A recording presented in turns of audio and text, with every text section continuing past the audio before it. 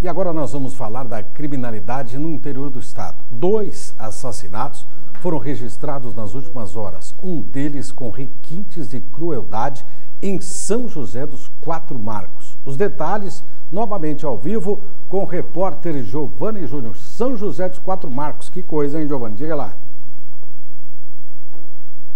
Bastante pesado e macabro são os adjetivos que a gente pode acrescentar nessa primeira ocorrência na manhã de ontem, por volta das 8 horas, onde a Polícia Militar, a Polícia Civil acabou recebendo a informação de um rapaz que estaria morto no bairro, no bairro Zeferino 2, lá em São José do Quatro Marcos.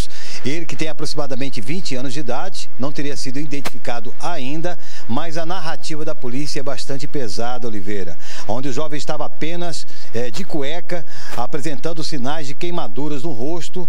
A cena era muito forte e perturbadora, porque ao lado do corpo, a polícia acabou encontrando um galão de combustível nas proximidades onde estava o corpo jogado. Ele estava amarrado, há uma grande possibilidade é, e suspeita que tenha sido uma queima de arquivo ou guerra entre facções. Mas isso a Polícia Civil estará investigando, porque o requinte é de crueldade e aqueles que praticaram essa, essa execução ou mataram esse rapaz, a polícia vai ter que investigar e trazer aí é, de forma minuciosa para poder saber se ele morreu né, estaria vivo e atearam fogo até a morte, ou se executaram ele, é, a, a, executaram ele e depois atearam fogo. Lembrando que nessa essa é a segunda situação de pessoa que é queimada lá na região de São José de Quatro Marcos. Lembrando que um senhor de 52 anos de idade também já foi narrado tempos atrás. Mudando de cidade, nas últimas horas, agora, agora há pouco, tá a Politec, a Polícia Civil, a Polícia Militar em Peixoto do Azevedo, bem próximo do rio Piranha aonde desde o último sábado, se puder mostrar uma moto, essa moto estaria lá parada desde sábado. E todos passavam e viam a moto com capacete ali, né, é, como acessório próximo do guidão. Aí isso chamou atenção, porque passou sábado, passou domingo, chegou na segunda-feira. Na terça-feira da manhã, a moto estaria na mesma posição com o capacete e isso chamou atenção.